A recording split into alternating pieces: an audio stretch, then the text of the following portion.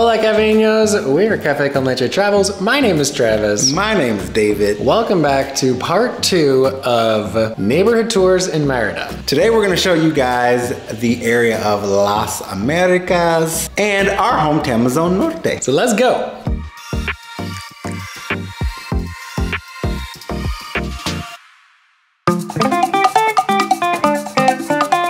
We still have our rental car and there is still construction happening outside, so It never stops. If you joined us for our last neighborhood tour, you know that we were in our rental car and we still have the rental car. so we're still touring. We're just making good use out of this situation. Sure are. If you are looking for a rental car in Merida, we will link the company we used below. They were actually great. Yeah, we've used a couple, but this one is a different one we've used. It's been wonderful. Mm-hmm.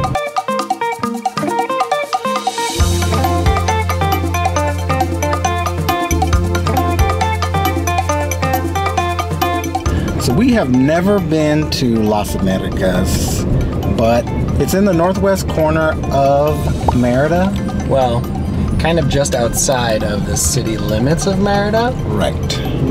It's more like a suburb than part of the city, but we've heard it is popular with foreigners because of all the new construction there. Las Americas is 10 minutes from us in Temozon Norte, and it is very, it's a very quick trip to Progreso.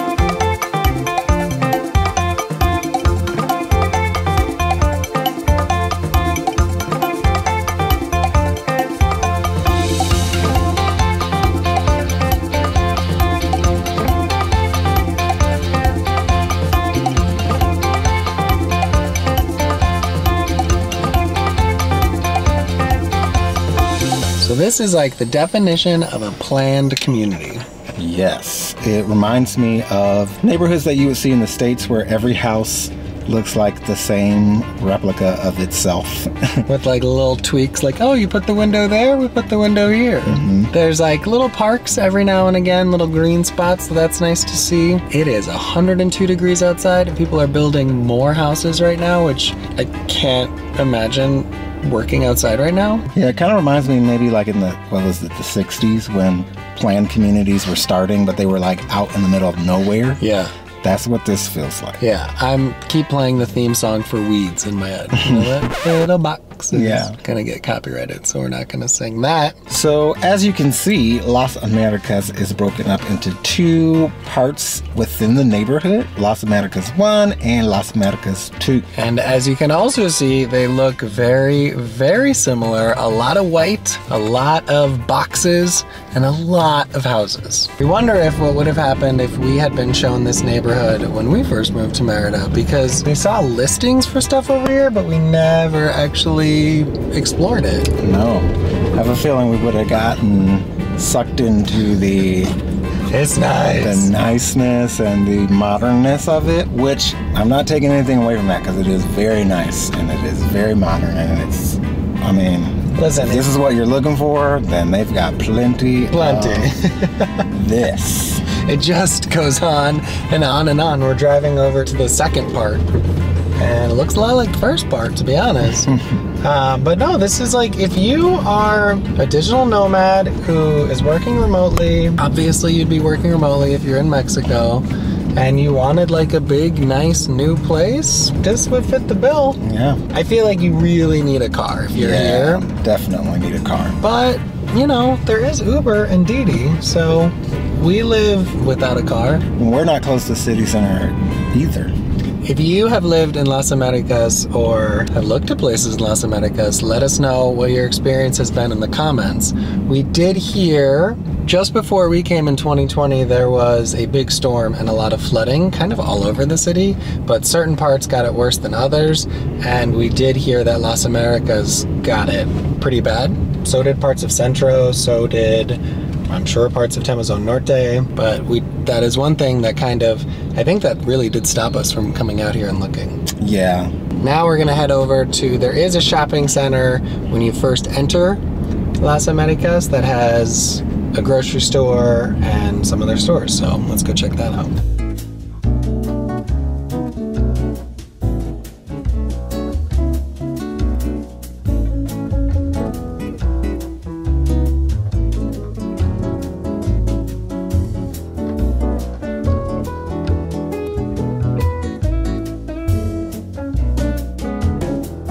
One thing we did notice in this community is that there are bike lanes everywhere. So, unlike us, we can't really bike to any of the places that we would like to go to. Uh, but here, because everything's within the both Las Americas one and two, you can bike literally everywhere you, you want to go. As long as you don't mind biking in 102 degree heat on days like today. But like after it cools off, and by cools off I mean like 90. No, I mean it's definitely like an option that is cool. Like you can, you know, have a little life out here and be right by the beach too. Yeah. Okay, Las Americas, I see you.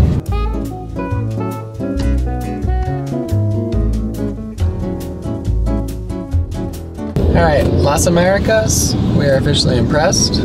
There is way more retail, restaurants, cafes, shopping than I thought knew.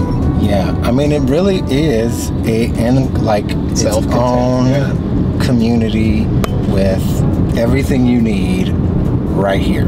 We've seen vets, we've seen car shops, we've obviously seen tacos and pizza places. Places to get homemade fresh tortillas. Yeah, juice shops, painters. Like it's like this. Wow. Did not. I did not know what I expected, but didn't expect this. So, again, we've said this before, but people people watching that have not seen Mexico and thought that it was one thing, it's not what you think it is. It is so much more. We are now going to take you to our neck of the woods, which is Temozon Norte.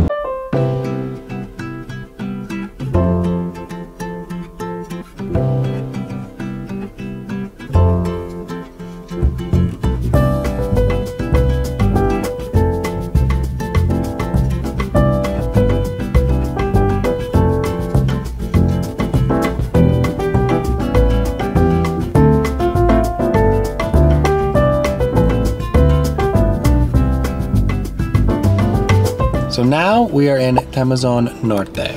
We walked around Temozon Norte in another video that we will link somewhere, but today we're gonna drive around. And the year and a half that we've been here, there has been an explosion of construction. There are new things popping up every day, it seems like. And what felt kind of barren now is is all these new privadas and homes all over the place. Yeah, what's different than Las Americas from what we've seen is Temozon Norte seems to be a lot of privadas. And hmm. privadas are like little gated communities that are like little clusters of anywhere from like 30 to 100 homes.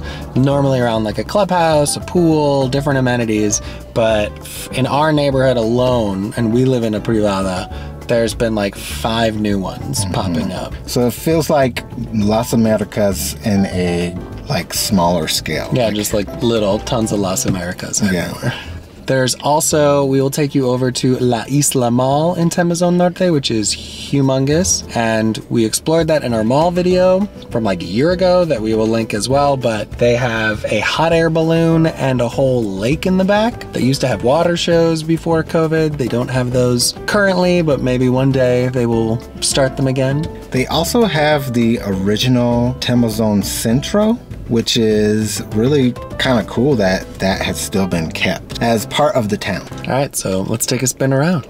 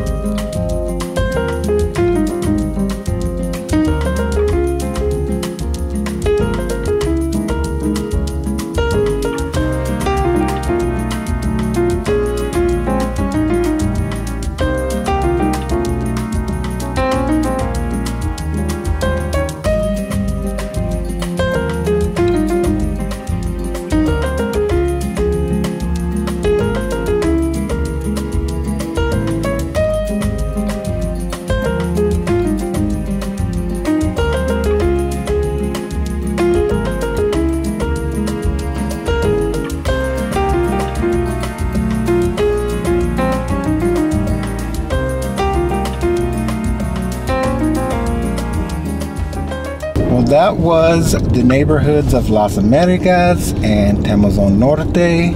As you can see, a lot is being done out here in Merida. A lot. And in the past year and a half, a lot has changed. Yes. Obviously, there is much more to show in each neighborhood. It was 100 degrees out, so we didn't want to really get out of the car too much today. But hope you found that helpful to give you a better idea of lay of the land, what housing looks like, and kind of where everything's situated.